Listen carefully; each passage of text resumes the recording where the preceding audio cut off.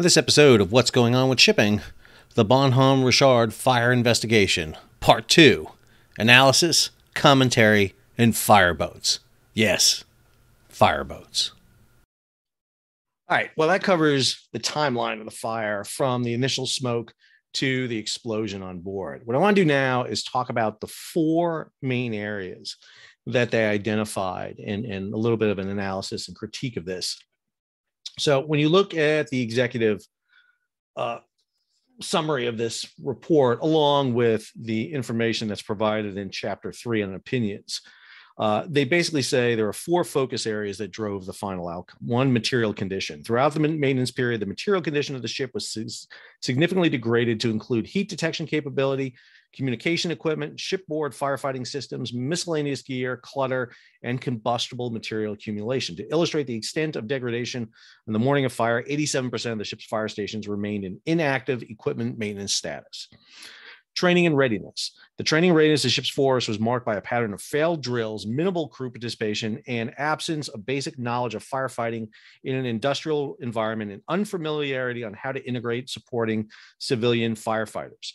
To illustrate this point, the crew had failed to meet the time standard for applying firefighting agent on the seat of fire on 14, 14 consecutive occasions heading up to 12 July 2020. They were zero for 14. It's not like, well, they did, you know, it was 100 times they did 14. No, zero for 14.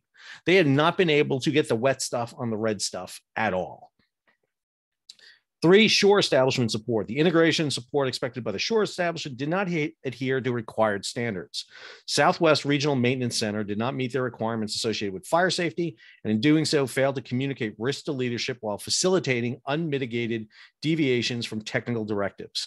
Navy Base San Diego failed to ensure its civilian firefighters were familiar with Navy vessels on the installation, verify they were trained to respond to shipboard fire, or effectively practice how to support ship's force and simultaneously integrate responding mutual aid assets. Oversight. Ineffective oversight by the cognizant commanders across various organizations permitted their subordinates to take unmitigated risk in fire preparedness. A significant source of this problem was an absence of codification of the roles and responsibilities expected by each organization in their oversight execution. All right, Let's look at each of these in a little bit of detail. So, one, material condition. And this comes right out of uh, uh, section one of chapter three, pages uh, 250, starts on 254, actually. So, one of the first things is obviously the, the, the, the, material of this condition of the vessel contributed to the fire. Uh, roving shipboard watches are essential when you're in a shipyard period because a lot of your fire detection equipment is offline. And the lower V hold, where a lot of material was stowed during this maintenance period, was not being observed. Uh, it was unclear what type of fire this was. Was this, was this a type A or class A fire? Heavy materials, you know, wood and stuff. Was it a class B oil fire? Was it a, you know, liquid fire? Was it a class D electrical fire? Nobody ever knows about this. And one of the things that they note here in the report, ultimately, poor readiness and material condition rendered any fire response challenging. And again, one of the things that happened is because of the condition of the ship, the fire spread was happened. You could not isolate, you couldn't shut down ventilation, you couldn't secure hatches, you couldn't do it. But again, there should have been plans for that. If, if you have cables running through a hatch and you can't secure the hatch, well, then have provisions in place. Where are axes? You know, how do you det- eh, detach things? It's better to cut a cable than it is to risk the loss of a vessel. Now, obviously, you don't want to cut power cables, but you need to have those provisions in place this, the material condition of Bonhomme Richard was in disorder. Goes into this issue despite the ship's fire stations being in a degraded condition, 187 of 216 fire stations, 87.5% being in an inactive equipment maintenance. All right, I am going to hammer the damage control teams for this. You have a damage control office. You have these huge, massive plates that show you the integrity of the vessel. It shows you every deck where every firefighting system is. Your team should be responsible for going through this vessel and checking on all 216 of those stations. And you should have a red mark through everyone that's not working so that if you do have a fire that hits the lower V deck, you know you have to string hose from here to here. And you have hose pre-positioned on the flight deck or in key areas of the vessel. So your damage control teams can go get the hose and rig it. You, you I, I, mean, they just did not, they just hoped there wasn't going to be a fire. That seems to be the plan here. Let's hope nothing goes wrong and therefore everything should be right. I know I'm Monday night quarterbacking this, but again, you lost a vessel, a $1.5 billion vessel in the port of San Diego. And this crew, granted, you know, and this is the other thing I hear all the time. Well, this vessel had been at sea with a full crew, it never would have happened. Really? Are you sure? Because a lot of the issues they're talking about here could have happened at sea too. And let me be clear if you get hit by a missile, you're going to lose firefighting capability. You're going to lose systems. You're going to have to rig hose over long distances. You're going to lose part of your crew. You could lose your primary damage control teams. This is the, the argument that this wouldn't happen at sea is bull. I'm sorry, it just is. This could happen anywhere. And the fact that they weren't prepped for this is a huge problem go on here. The AFFF system on Bonhomme Richard was partially available on 12 July 2020. How is it nobody hits these buttons? I mean, seriously, flood the lower V deck. Is somebody afraid to hit the buttons? I, I mean, why did nobody flood this deck? Uh, and, and, again, it, it's one thing if the system wasn't working, but we still don't even know if the system was not working. The report is not clear about it. They actually come in and say, well, we think it was working on the port side, but maybe not the starboard side. But you would still have flooded the deck. You could have contained the fire to a certain extent. But that is never done in this fire. It goes on here, and this is probably one of the most damaging. This is on 257 in paragraph eight. It says this because the maintenance was not properly performed, various push buttons were left in an inoperable or unknown state to include those in the damage control central and the conflagration stations in lower V. Due to the significant damage caused by the f- fire, coupled by the falsified maintenance work by the ship's force, it is difficult to determine the pre- precise status of the available AFFF in relation to the areas closest to the fire. Falsified maintenance work? That is criminal right there that's that's criminality right there. Again, only person court-martialed so far is an E1 for potential arson, which by the way, the investigation determined there wasn't enough evidence yet. The commanding officers for this area are deciding to push ahead with it, even though there was insufficient evidence to do it. Going on here. DC Central was in a degraded state of readiness, preventing the engine duty officer from establishing a centralized response in the early stages of the fire. Yeah, they know the 1MC wasn't working. Can I be clear about this damage control too? There's something, another thing I read in the report that just amazes me. When the ship was abandoned, they took the DC plates, the large charts, deck to deck, out of the DC office and brought them ashore. They disappeared, disappeared. Nobody knows what happened to them. They had to get the damage control plates from the Boxer, a sister ship, so that they could fight the fire Uh, how, how? I mean, seriously, how? How does that happen? How does how do you take the plates out of the vessel and then you lose them? I, I mean, I mean, I don't understand that. I really, I'm really at a loss to understand that. I, I just don't. I, I just don't understand what happened there. How does that? Because those things are essential. If they had been updated, and again, grant they weren't, so so it doesn't really matter. But I, I just don't understand that at all. Goes on here. Ship's force relied on, on communication by phone rather than radios and other installed systems because critical communication systems were degraded or inoperable. And this is probably one of the most damning ones here. The Bonhomme Richard CO, Captain Gregory uh, Thorman, lacked awareness of these degradations and poor communication practices. Thorman had been XO of this vessel. He had operated this vessel at sea. So, I mean, the fact that he knows this vessel inside and out and the fact that he was unaware, lacked awareness of the degradation and poor communication practices. Again, he arrives on scene and he's the one who defers to Fed Fire. He basically washed his hand of this fire and turned it over to Fed Fire. And how this CO is still in the Navy, I don't know, because he oversaw the decommissioning of the ship. the Navy will fire captains on ships for everything for sexual harassment issues, for failure or lack of confidence. They fired the COs, uh, the CO of the of the Connecticut, a, a, nuclear submarine for running into an uncharted seamount. How, how do you fire somebody for hitting an uncharted seamount? It's uncharted. It's by definition something you can't expect. Fire on a ship, kind of expect that. And this guy is still in the Navy. Come on, come on. Number and placement of Bonhomme Richard's brows. A stern brow would have enabled firefighting efforts aboard the ship to continue from the hangar and well deck. I'm going to come back to that when I talk about fireboats. Fin- finally, this the ship had a limited number of self contained breathing bottles and insufficient capacity to recharge them. I, again, how I'm sorry. How does Fed Fire and San Diego Fire Department, by the way, and I haven't got into this yet because I'm going to talk about this in a minute. How do they not have recharging capabilities? By the way, you have the Russell and Fitzgerald right alongside on the pier there. They could charge air bottles. How, how, how, does nobody have a, a recharging capability, a compressor to put air into it. I guarantee you San Diego Fire does. I guarantee you a lot of the mutual aid came on board did. How do you not have a, a, a wheeled station? And if you don't, load the bottles up and go to a ship and charge them and bring them back. I, I, I mean, this is ridiculous that you're running out of air bottles. All right, next part here training and readiness.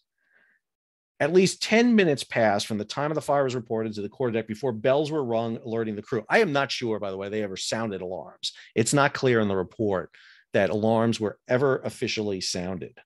It goes on here the absence of an effective duty section contributed to the lack of speed and coordination. There was no effective in-port emergency team available on the morning of the fire. Of 150 members in the duty section, they did not have a designated in-port emergency team to don gear and fight a fire. I, I, I mean, I, how do you set up a watch section without a firefighting element? I, I just I don't understand it. It's the watch section. How do you not have that prepared? And if you don't have that prepared, then there has to be a contingency for what you're going to do. I, I, just don't understand this. This is in, on page 259. This is just crazy here. A significant number of sailors reported the hangar were not prepared to join hose teams because they thought Navy working uni- uniforms could not be worn under firefighting ensembles. what have you guys trained on? What, what did you wear when you went to firefighting school? What I'm seriously. And, and if you're worried about your camis catching fire, take them off. Strip to your underwear and put on firefighting gear I, I, mean, the fact that this is still an issue in the Navy is is I, I, again, every time I read this report, there's something else I find that is just mind-boggling. I, mean, I, don't know what else to say about this. Ship's force initial firefighting effort lacked a coherent command and control structure. No shit. I mean, seriously. I, I mean, there was there was no absolute command structure here. I was it was it was terrible. This is again another one of these repeated attempts to access lower V without sufficient PPE, protective personal equipment, and firefighting agent hindered response agents. All right, listen.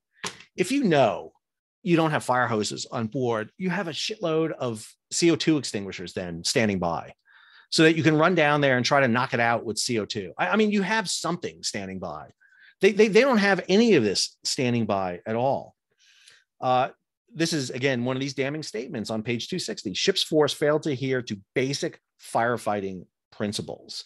And then on in in section 21 this statement is made which is just amazing. Statements by the duty fire marshal indicate they were able to successfully maneuver into lower v without ffe that's that's their firefighting ensembles ppe more than 20 minutes after smoke was first detected by the ship's force. So they could still get in there 20 minutes later without air protection without firefighting gear both individuals stated they advanced to a point in the lower V where they could have accessed fire station 4, TAC 53, TAC 2 before turning back. Both individuals also stated they were able to observe the glow of the fire, which indicates properly dressed hose teams could have accessed the space and applied agent in the same time period. Again, go back to that moment in the fire early on.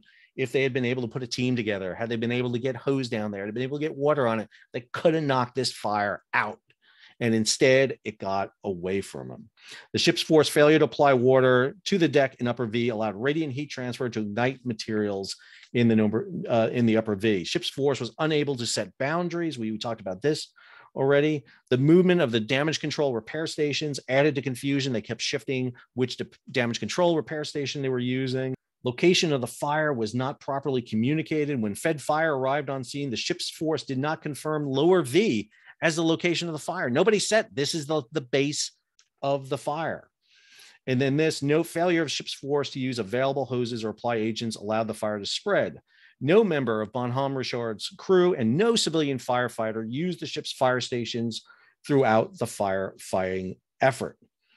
Uh, they then critique him on their decision to evacuate the ship and secure power.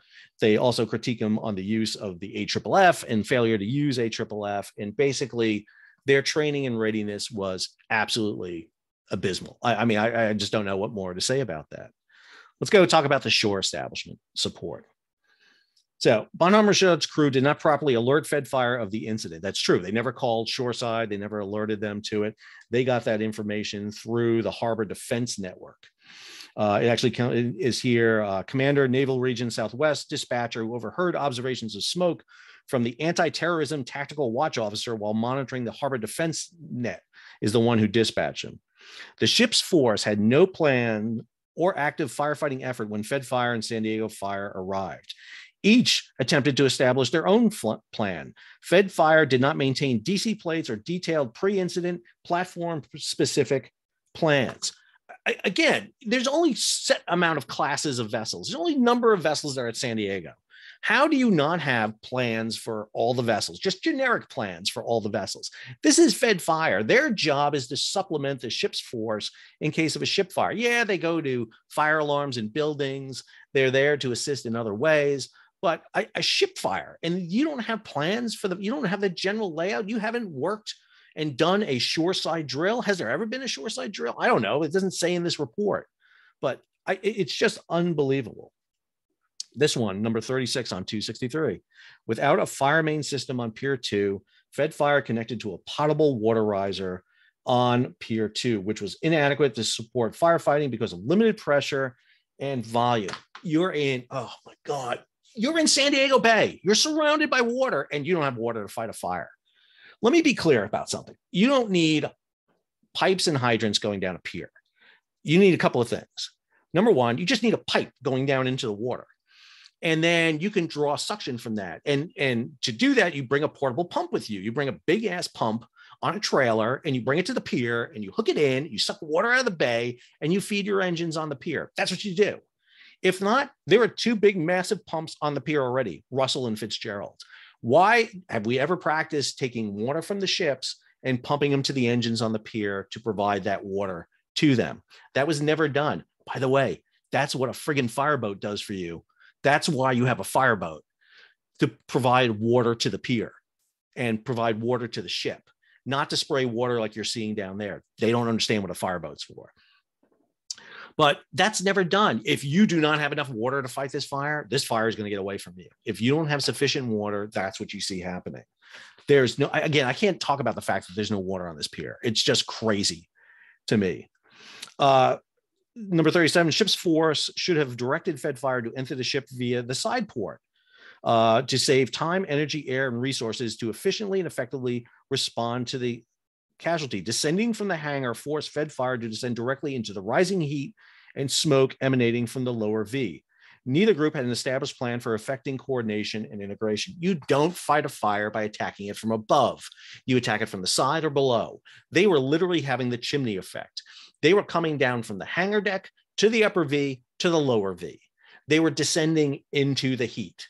That's not the way you want to do it. I mean, you just don't. All that heat is coming up, piling up through space. It, it's radiating upward. And you're going through that.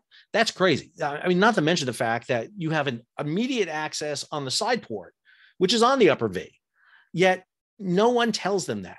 Nobody tells them that. It's just amazing. 38. The mechanical incompatibility of Fed Fire and ship's forces hose further complicated integration efforts. All right. Okay. I'm going to lose what's left of my hair here in this video.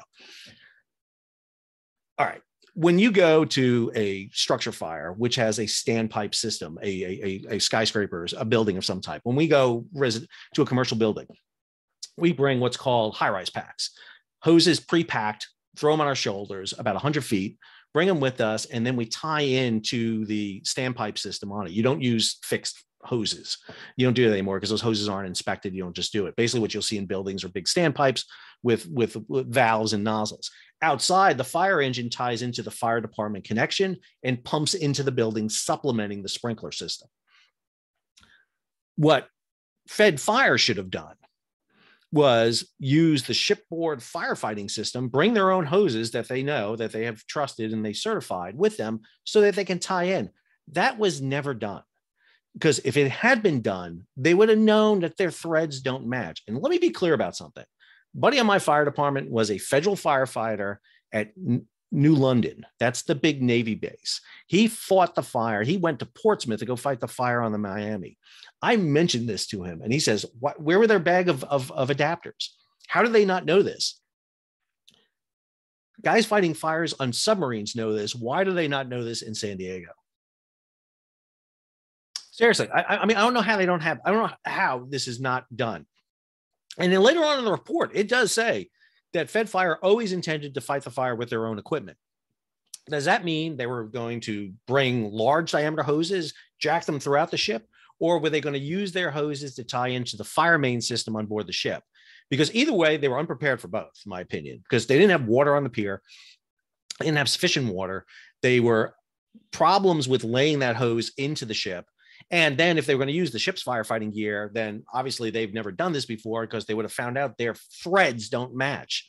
The female version of their hoses don't match the male threads on the connectors in the ship, which is just, again, amazing to me. How do you not friggin' know that? And how do you not have a, just a huge bag full of adapters to use for that? I mean, they should have that. I, I mean, I, I, again, and if you don't, if you don't want to carry them on your engines, put them in a truck and bring them with you when you get dispatched to a fire. You know, it could be the same truck, by the way, that has the huge friggin' ass pump on the back that you can use to provide water to your to your uh, fire engine. Oh, I'm sorry, it gets me all worked up. This this report. 39. Ship's force effectively ceased any firefighting attempts and efforts once Fed fire arrived. How do you surrender your vessel? I mean, seriously, you're the command duty officer, you're the ceo of this vessel. Why do you give this fire over to Fed fire? It is you, you know the ship. You know the ship. Even when I go with my pre-plans to a building, I don't know the interior layout. It's it's a schematic. It, it, it I still don't know the layout as well as somebody who's on the ship what you should have been doing with Fed Fire, and they did it to a certain extent, was supplement Fed Fire with experienced damage controlmen from the Bonhomme Richard to direct them. But what you don't do is turn your fire scene over to that. That'd be like me having a fire in my district, and then a mutual aid company comes in. I turn it over to them. Hey, okay, you you fight this fire. I'm going to go back to the truck. That you don't do that. You you have abrogated your right and your role and responsibility. And by the way, still in command or still in the Navy, as far as I know, is the CO of this ship. Again, hasn't been relieved. Stayed on until the vessel was decommissioned. Fed Fire failed to employ Bonhomme Richard's firefighting systems, was inconsistent with the intent of the 8010 manual. So they mentioned the 8010 manual throughout here. This is the manual that came out after the USS Miami fire, a ship, a nuclear submarine that caught fire at Portsmouth, arson, and it was supposed to fix all these issues that they encountered with the Miami fire. I'm not sure these guys ever cracked it because it seems like they did nothing at all with it. And finally, here on 41, during the initial three hours of the casualty response, Bonhomme Richard, Fed Fire, and San Diego Fire did not effectively execute an integrated response. Goes on here, there was no integration between Ship's Force and San Diego Fire Department, poor integration between Fed Fire and San Diego Fire. Fed Fire Chief, concerned with accountability issues, directed San Diego Fire Department to depart the hangar deck because he she couldn't get a, an accountability issue. She had them leave from the scene. At approximately the same time, San Diego members located the fire via the side point ramp, shifted their efforts to that location. Uh, it goes on here, but the repair division LPO and other ship's force representatives failed to escort San Diego Fire Department into the ship despite repeated requests. Why the hell wasn't Bonhomme Richard's crew helping this? I mean, what's the answer to that one? I mean, I mean, why would you not help in this? And then again, on scene integration coordination between San Diego and Fed was limited due to radio communication challenges and lack of mutual aid training. I went to a fire years ago where our department to the north of us in a separate county was on a different radio system. We had incompatible radios. What did we do? I sat there at the command post for that town's fire department It was a major fire at a warehouse. And when he wanted to communicate, the chief wanted to communicate with our guys, I relayed it on my radio. I had one of his radios right here. I had my radio. When they called, I relayed. That was it. That's all I did. It, it's not exciting. It was boring as crap, but that's what I did. And that's what you do if you have incompatible radios. You you do that, or you give the department a radio to have for that. I just that would have came up in a mutual aid drill in a second, by the way. The lack of coordination between firefighting organizations, Bonhomme Richard's crew delayed, delayed putting agent on the fire. The arrival of Fed Fire essentially stopped the efforts of the ship's force in the hangar.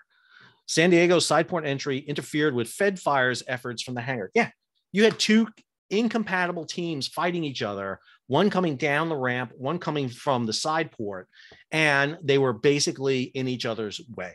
They weren't coordinated effort. They, they could have been coordinated, but that would require communications and discussion and everybody knowing what the frick is going on in this fire.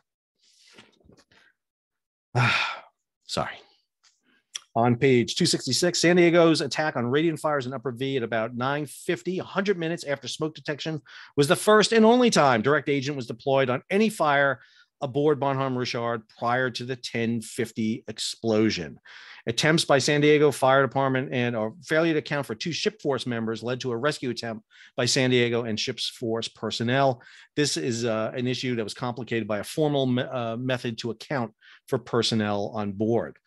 Minutes before the major explosion at 1050, San Diego identified changing conditions in smoke volume, velocity, density, and color, which indicated a pending explosion. San Diego and Fed Fire both ordered an evacuation, which I showed you earlier. The last firefighters exited the ship minutes before the large explosion at 1050. Timely action by civilian firefighting organizations saved lives, prevented serious injuries. That explosion, by the way, convinced the Fitzgerald and the and the Russell to get off the pier.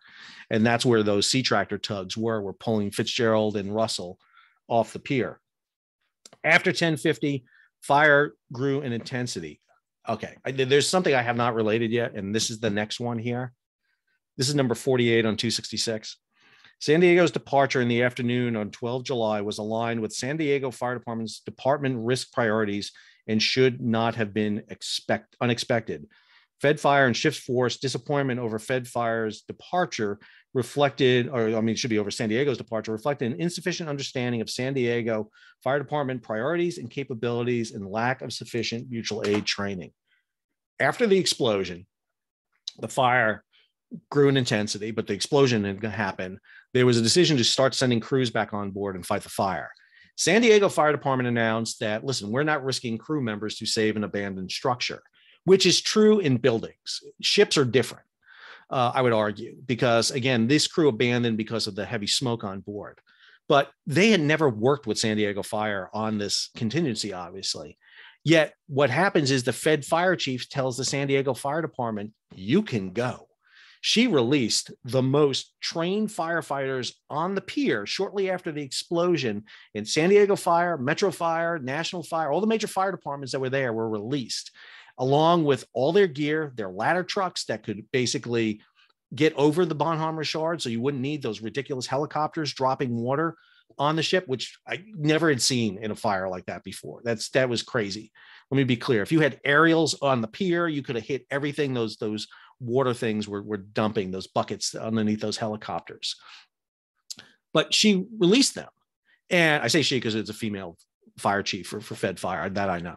Uh, and th- this issue is unbelievable. Unbelievable. Because one of the things San Diego Fire Department has is those recharging stations for air bottles they could do.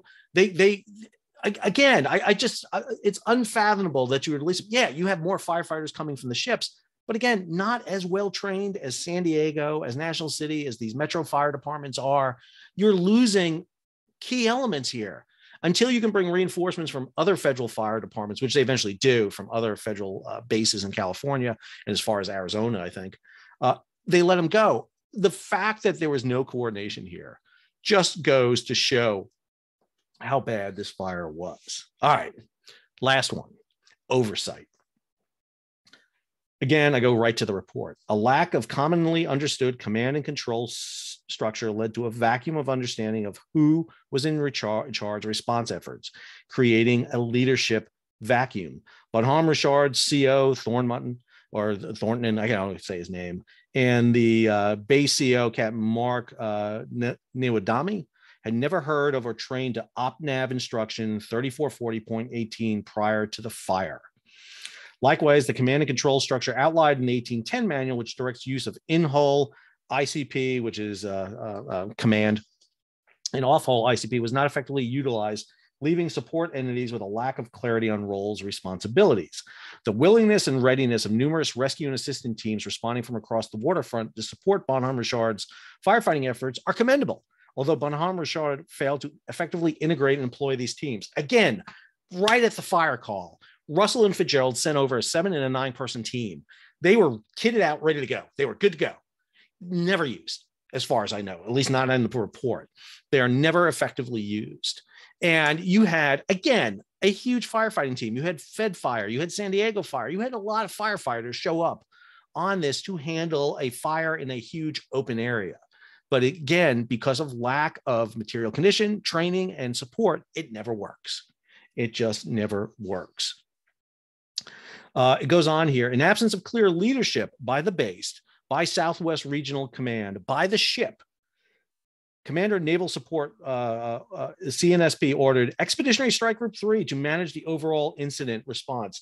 You need a freaking admiral to command a fire. What the? I, seriously, seriously, why is an admiral commanding a fire? No idea this. I, again, you know, when we have fires, we, we will escalate in command of a structure. If I arrive on my first in engine as a captain, I may pass command over to an assistant chief or up to a chief.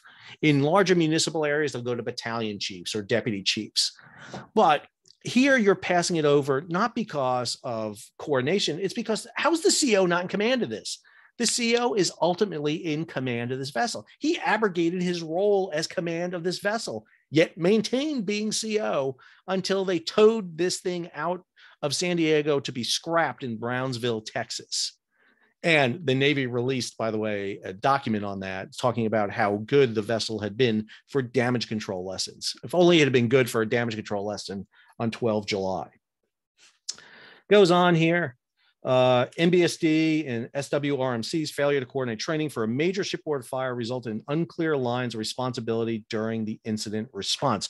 All of this could have happened on a ship that wasn't coming out of repair availability, too. Let me be clear this shore establishment support, this oversight, all of this would have hampered this ship had this ship just been prepared next day to leave on a deployment or just come back from a deployment. I don't think it really matters if it's coming out of this. This is terrible.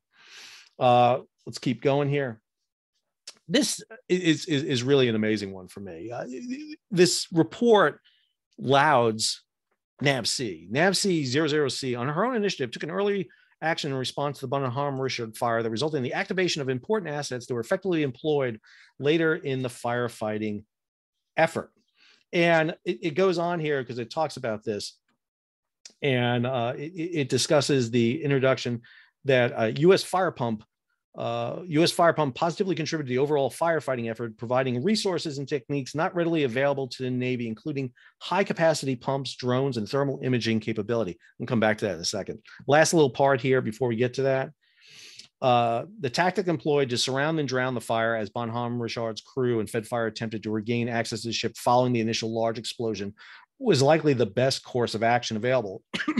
However, it failed to slow or prevent the unabated spread of the fire. By 20, 2000 on 12 J- July, no personnel on the ship. Flames were openly venting from the structure.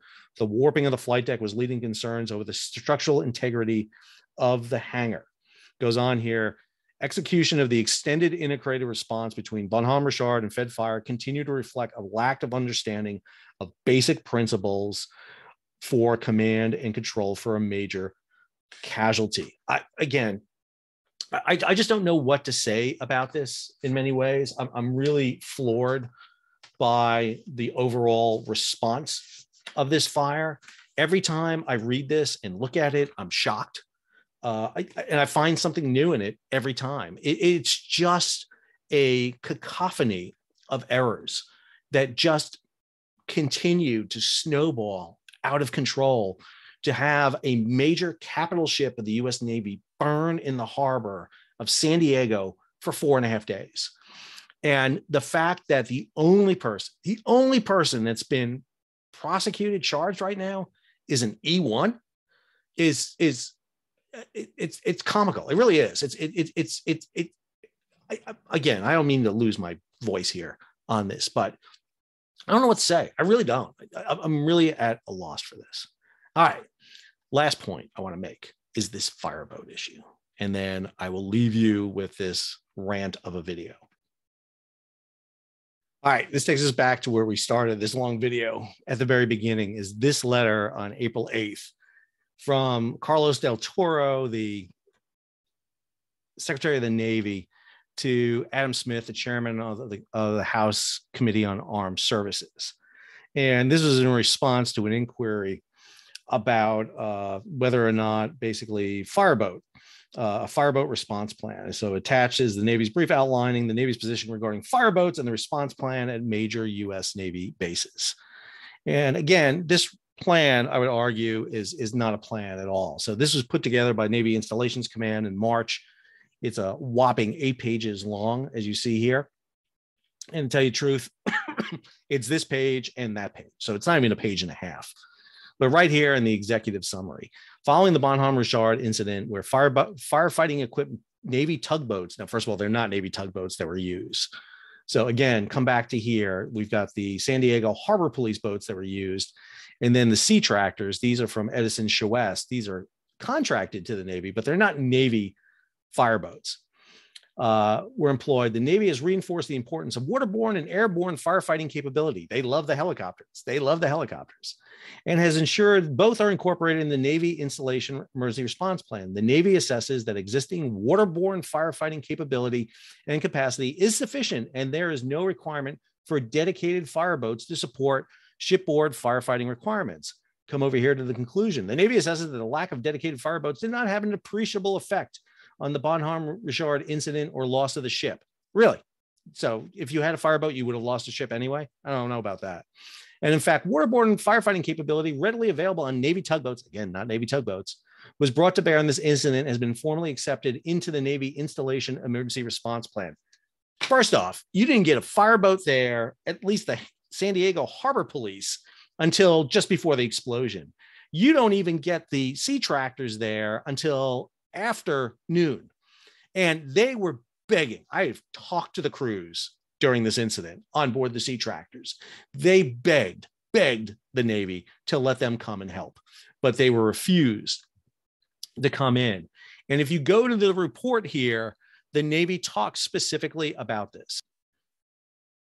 This is page 48 of the JAGMAN report, a whopping four paragraphs on waterborne firefighting effort, efforts. Approximately 10.05, San Diego Harbor police boats arrived, began spraying water.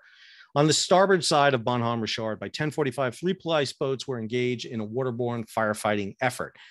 By 1110, San Diego Port Authority water, water tugs were requested by the Navy base. At 1200, additional tugs arrived to continue cooling Bonhomme Richard's starboard side and provide pump support for pier-based firefighting efforts. At 1230, the ICP, in coordination with the Bonhomme Richard, CO and Navy Region Southwest Deputy Commander, requested all available tugboats from Los Angeles and San Diego to support hull cooling. So first off, they weren't readily available. The explosion takes place at 1050, 1050.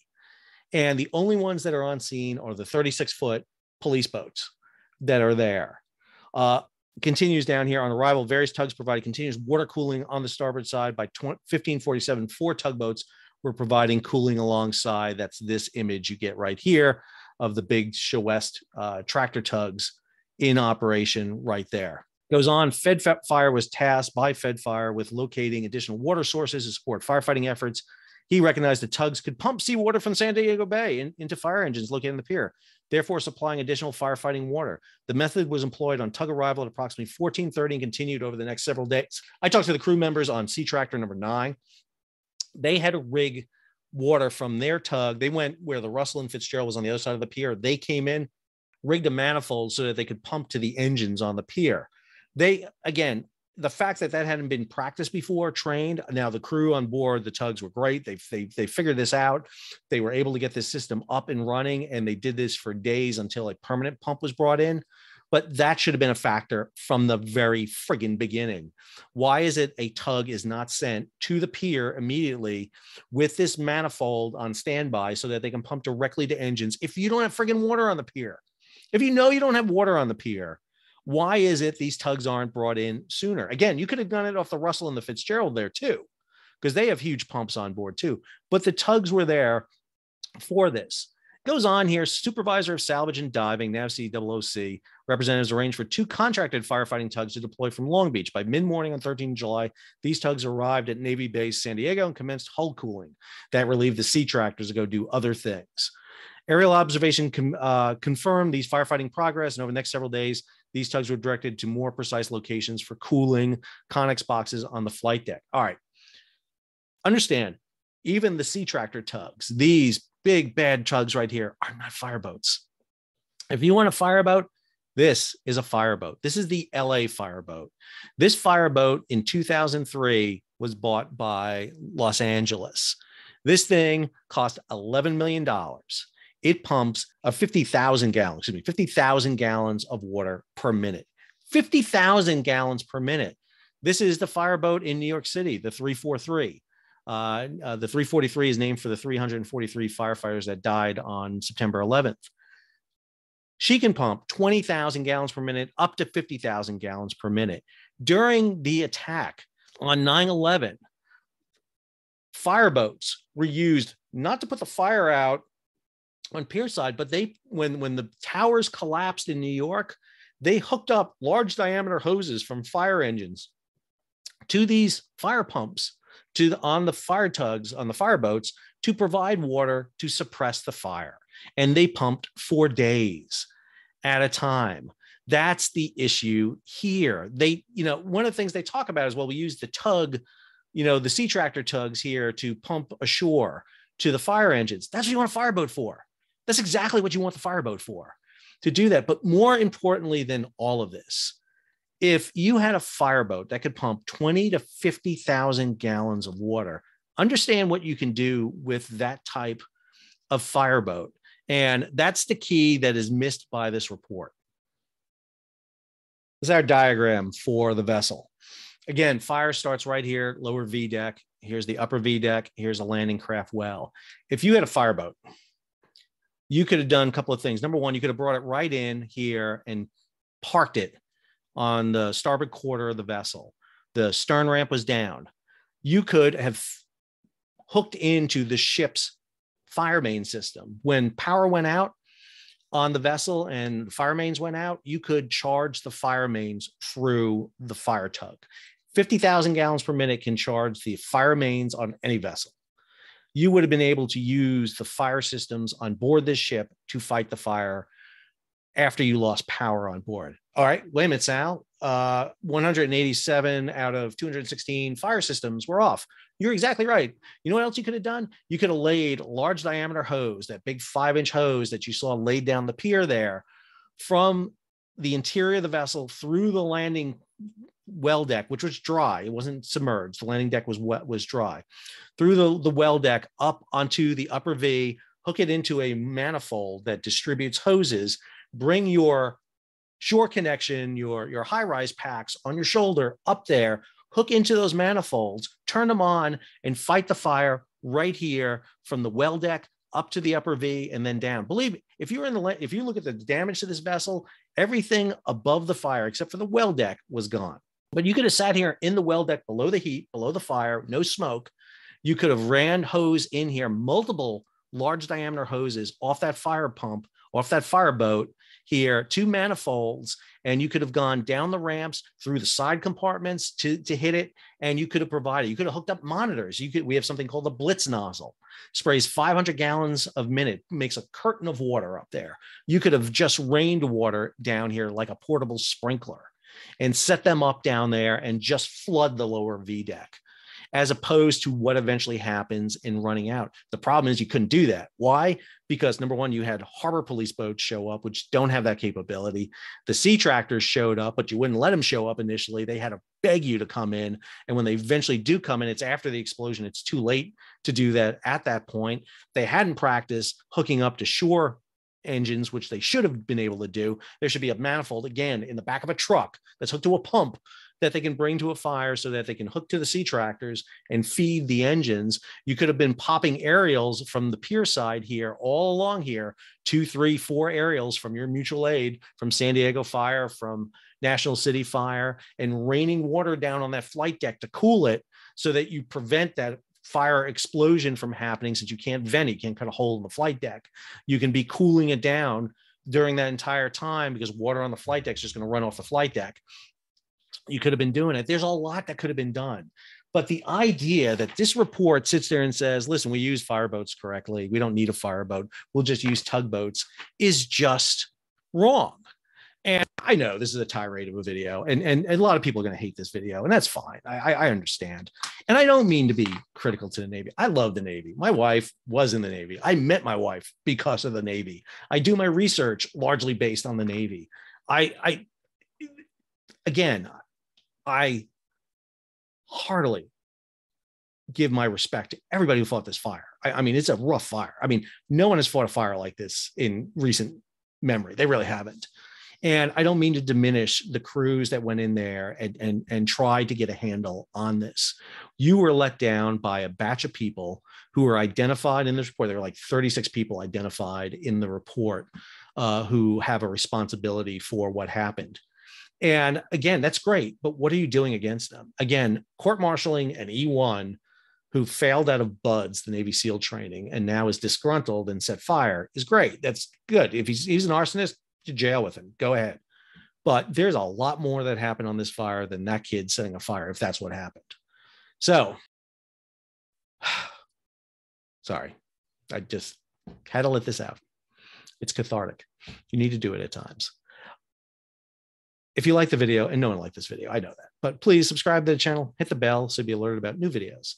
As they come out, leave a comment. Oh my God, I'm going to get comments. I just, I know I'm going to get comments, but that's fine give it a thumbs up or probably not. Who knows? And everything. Share it across social media. I have a feeling it'll get shared across social media. And if you can, contribute to the Patreon page. It allows me to do analysis and videos like this going forward. So until our next video or until I'm found dead in a ditch, killed by Navy firefighters somewhere, this is Sal signing off.